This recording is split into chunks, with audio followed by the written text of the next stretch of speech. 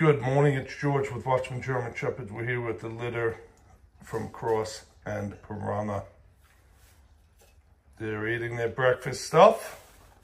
Got them the raw eggs, you can see. And I gave them some frozen fish sticks, and they love them. Uh, good nutrition. Of course, they kibble and water. Uh, that's standard there, and I'd like to give them human grade, good, nutritious, high protein, high fat, supplemental food. The litter's doing great. As usual, the Lula's puppy wins the cutest puppy award. She got her back to us right now, but let me see. Get these guys. What are you guys doing? Look at this one. They're all very cute. Look at that little one. Hello, little pretty. What are you doing? Oh, yeah?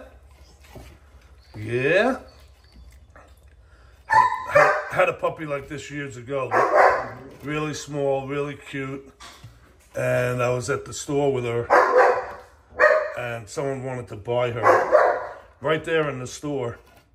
I was at the I was at the Home Depot. Hey, shush. That's the mom getting jealous. But anyway, you can't blame them. They wanted to take her right from me right there. And these other guys, once the ears go up, look at that difference. Ears starting to go up, ears not starting to go up. Big difference in the look. Yeah, they ain't hurting cuteness. Hello, puppy. Hello, puppy. And they all have that nice, beautiful red red in their coat. Hey, hey, where'd you go, puppy? I gotta put up another board here, so I put the three quarter or one by six.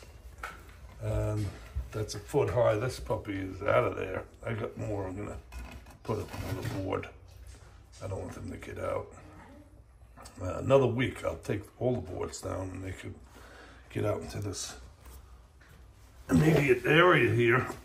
So, anyway, that's just a little update for the puppies from Piranha again and Cross, and uh, they're doing real good. Next week they go to the vet. They had their first vaccine the other day, uh, Monday.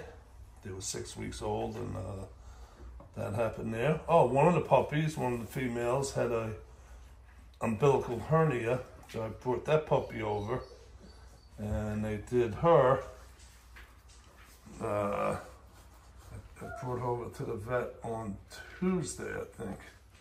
And then I left her and then went back and got her. And so that's coming along good. I could show you that, I guess. No, I'm not gonna. I need two hands to pick her up. I don't want to disturb anything. But the stitching uh, stays in there and then it will dissolve and all. But an umbilical hernia is not unusual.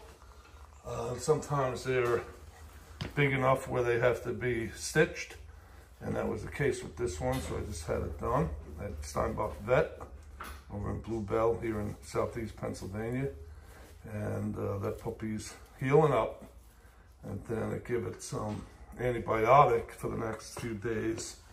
And so, anyway, I will uh, do a video about that because pretty common and it's not worrisome. Typically, it's uh, easily fixed by a, a, a, surgery. Um, and I just basically push it in and stitch it up. And so I, I do get them where they don't have to, you don't have to do anything. You don't have to bring the puppy to the vet. They just self-resolve. So that's the other video. I got caught up with, with the whole thing. Couldn't, couldn't stop my brain. You have a great day. The Lord bless you as you trust him. Trust the Lord as he's revealed in the scripture. If you haven't subscribed, please do. Appreciate that. Like, share, comment, and question. Uh, get the video out there and uh, comment and get involved. Helps the channel overall. Uh, but, like I say, I'm not taking over the world here with my YouTube channel. However, I like to keep it going. And the more people that get involved, the more it goes. So thank you. Have a great day.